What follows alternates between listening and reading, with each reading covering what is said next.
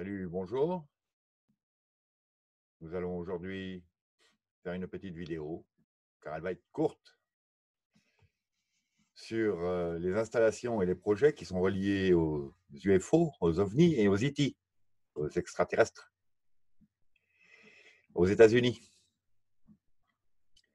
Et donc, euh, autour euh, de l'Air Force et de la base de l'Air Force Edwards, et des installations qui y sont reliées. Nous trouvons des installations du gouvernement, telles que donc euh, l'Edward Air Force Base, la base de l'Air Force Edwards, la Haystack Butte, China Lakes, qui sont dans la zone euh, un petit peu, il me semble, au nord-est de la zone 51, la George Air Force Base, la Norton Air Force Base, la Table Top Mountain Observatory de la NASA, donc l'observatoire de la montagne du,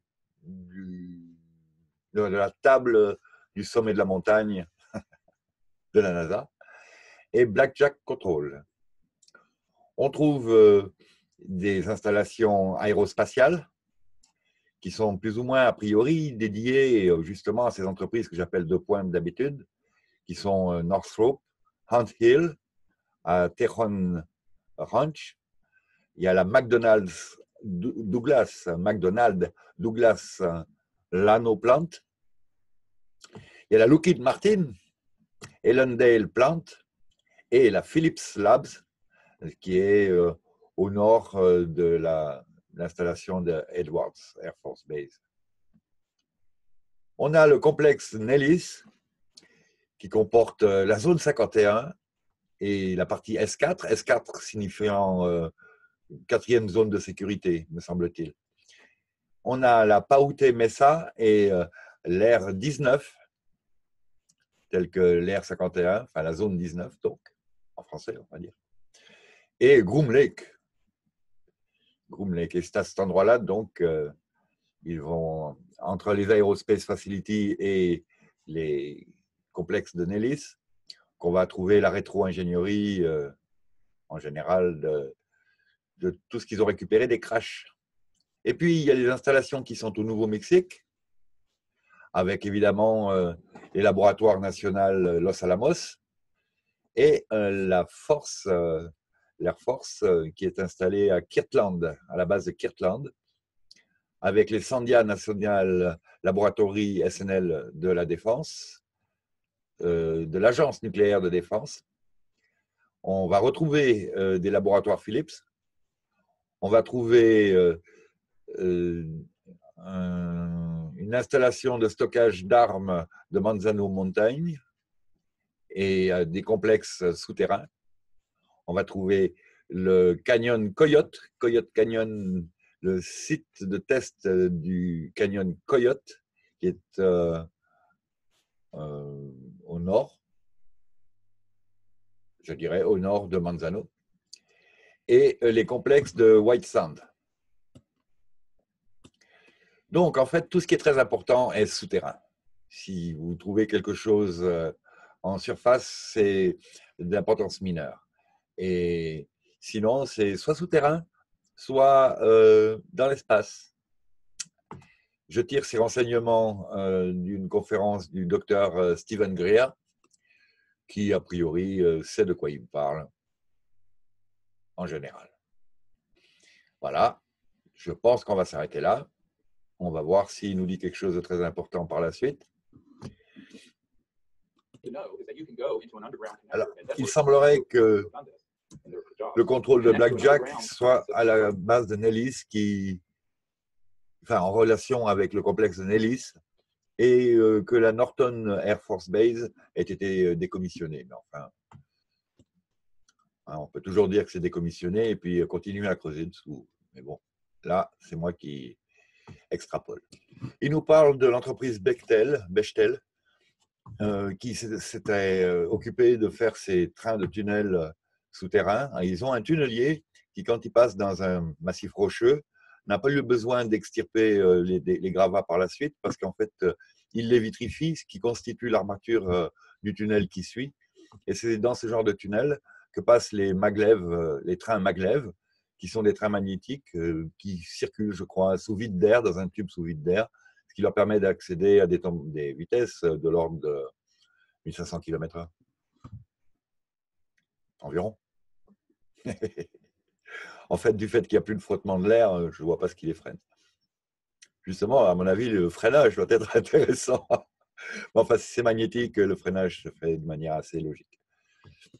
Donc, ces systèmes de tunnels permettent aux gens de passer par un endroit, de descendre à un endroit et de se retrouver vraiment très très loin d'un coup. D'ailleurs, au 11 septembre, certaines personnes ont dit qu'on les, avait amenées à un sous-sol assez profond avant qu'elles soient transférées dans une autre euh, zone de sécurité, où d'ailleurs elles ont été enfermées, hein, si je me rappelle bien, en attendant euh, de savoir ce qui se passait 11 septembre. On peut dire donc que ça, c'était une partie du gouvernement qui n'était pas au courant du false flag du 11 septembre. On peut même estimer que c'est une partie euh, du deep state qui est la partie positive et contre laquelle le marais exerce ses ravages. Enfin, les démons du marais, on va dire. Donc, il précise bien que dans les installations aérospatiales, c'est là que sont faits les ARV, euh, c'est-à-dire euh, les, véhicules de reproduction alien, si vous voyez ce qu'on veut dire en français, c'est-à-dire donc la rétro-ingénierie. Sous la Paute Mesa, qui font partie du complexe Nellis, euh, c'est là qu'il y a des bases aliens. Enfin, des bases aliens, je veux dire. C'est là qu'il y a dans ces bases-là qu'on étudie le matériel alien, ainsi qu'à Groom Lake. Parce qu'il y a donc des endroits où on étudie, puis des endroits où on reproduit. Et j'avais lu un bouquin qui parlait, euh, je crois que c'est dans Lou Baldin, dans la série des Lou Baldin, en français, euh,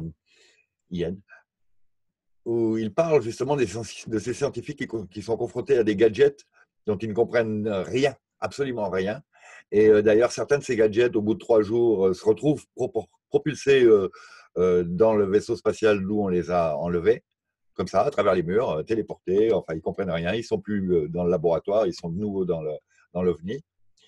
Et euh, il y a d'autres gadgets comme ça qui ont carrément tué des scientifiques parce qu'ils ont mis la main dessus, par exemple. Et puis, c'est un gadget qui pénètre dans le corps et qui explose à l'intérieur ou qui, qui, fait des, enfin, qui a une, une activité chirurgicale sauvage. Ou il y a des gadgets qui transformaient les gens en zombies et ça les transformait en zombies et ça les mettait en catalepsie et ça permettait aux entités aliens de pénétrer ces corps-là comme dans des walk-in, ce qu'on appelle en anglais walk-in, c'est-à-dire euh, ceux qui marchent euh, dedans ou, euh, ce qu'on appelle aussi les porteurs de costumes. Enfin, c'est une traduction. Hein. Ça, c'était la version des Indiens.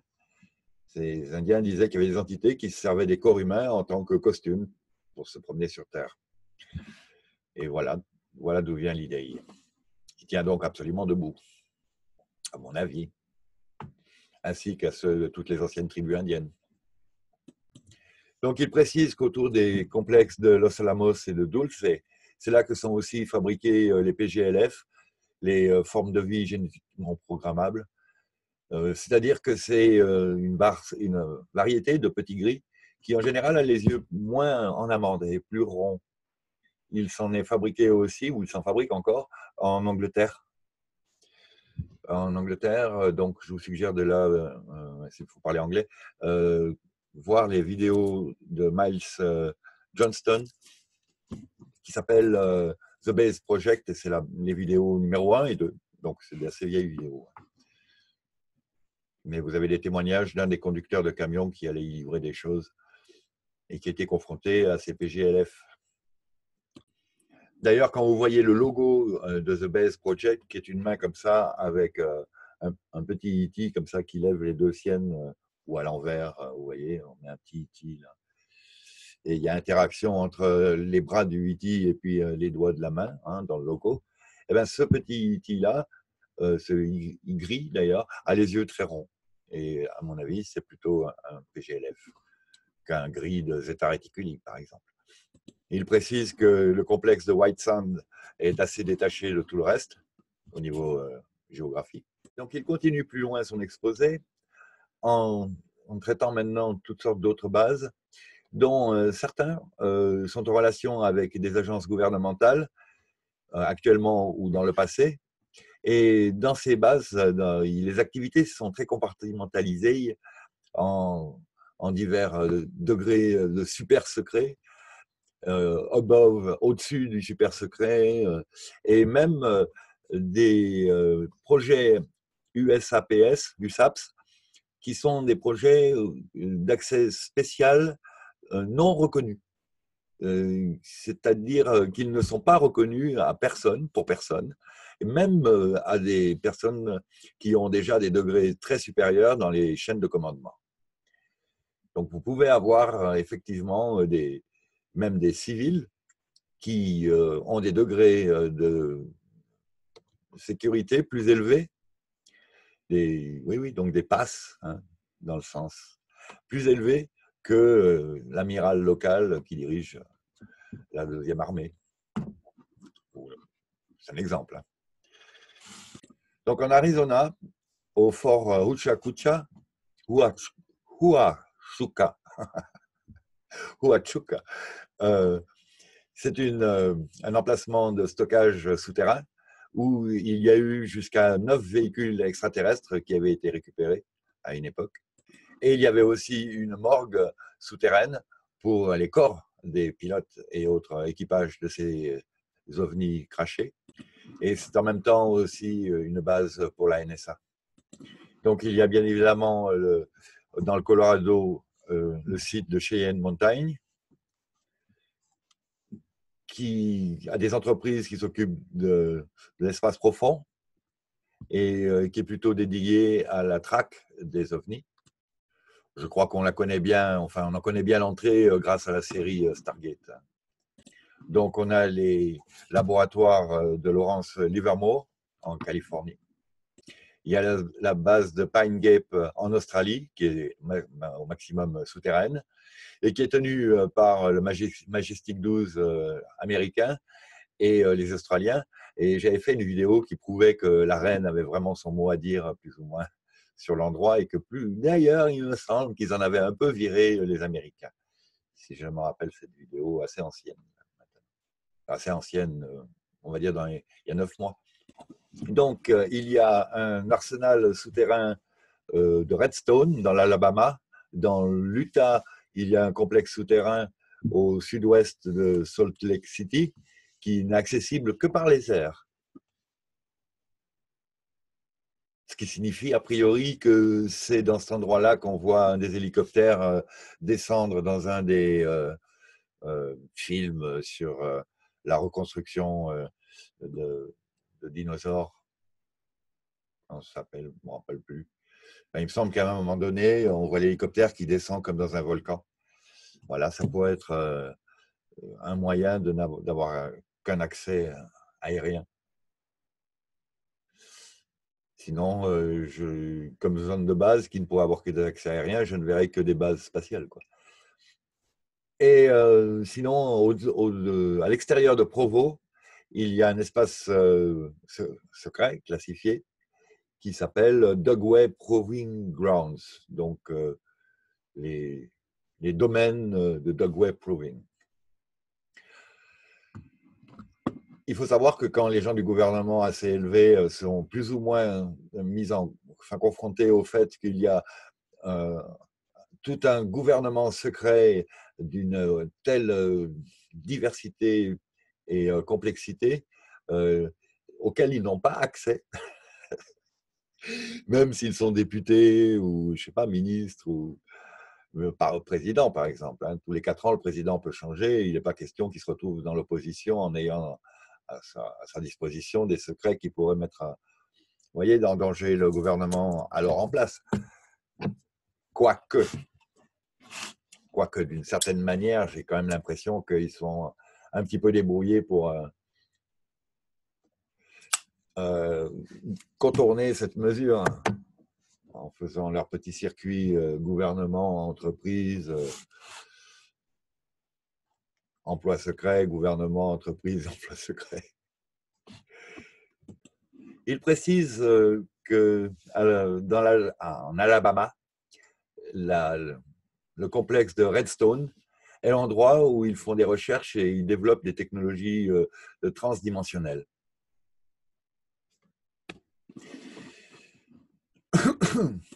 Il a lui-même visité euh, une installation SCIF, euh, qui signifie donc SCIF, Secure Communication.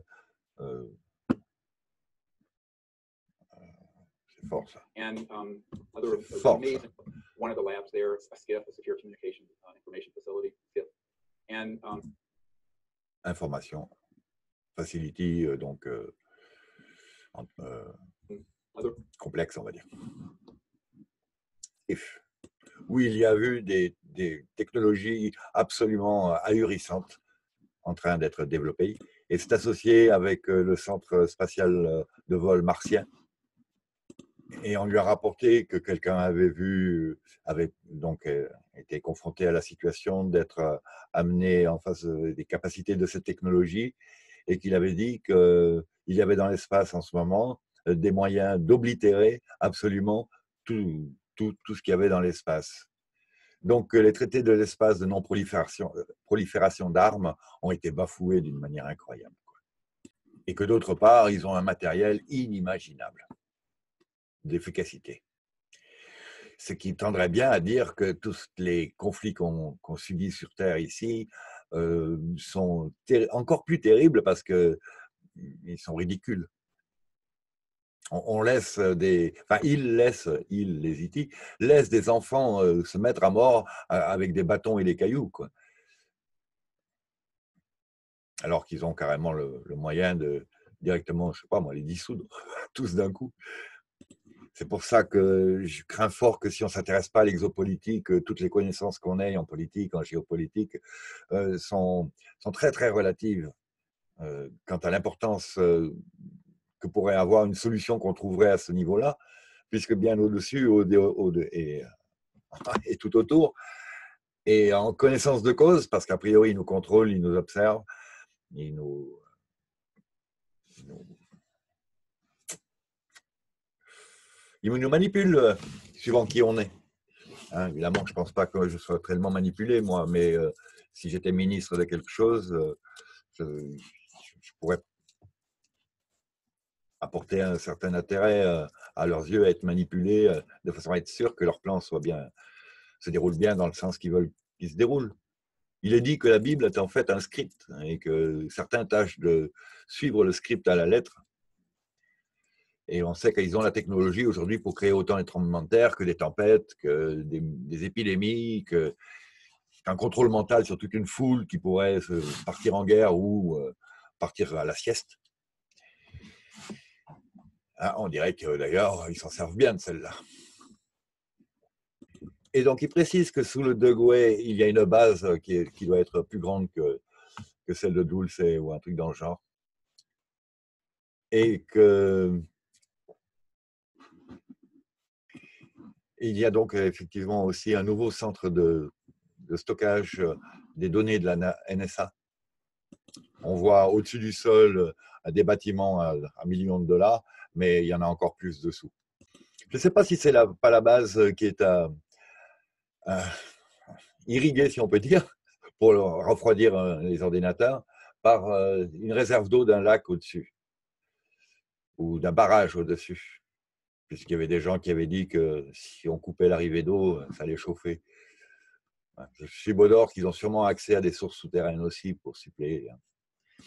Et voilà, c'est là-dessus qu'on va clore euh, cette petite vidéo en ambiance obscure à propos des bases souterraines américaines. On va conclure ou bien je fais un petit encart en disant que par le biais de l'OTAN, à mon avis, à Bruxelles, sous le centre de l'OTAN, il y a aussi de nombreux souterrains? que on connaît ça aussi dans le sud de la France, euh, avec euh, cette ex-base de lancement de missiles sous le plateau d'Albion, où il y a des kilomètres euh, de galeries, hein. il y a des postes de commandement qui sont à 4, 5, voire plus kilomètres. Pas tellement en profondeur, donc je suis Baudor qu'il doit y en avoir en profondeur une fois qu'on est arrivé sur place. Mais enfin, on peut pas trop en parler parce qu'a priori, elles sont encore en fonctionnement et. Ah non, pas moi Excusez-moi. Bon, euh, je vous remercie d'avoir suivi. Je vous dis à bientôt, peut-être. Bonne journée, bon courage et euh, n'ayez aucune crainte, euh, particulièrement exacerbée aujourd'hui. Toute cette situation était déjà comme ça hier et depuis les années, à mon avis, 47 à peu près. Bonne journée, salut.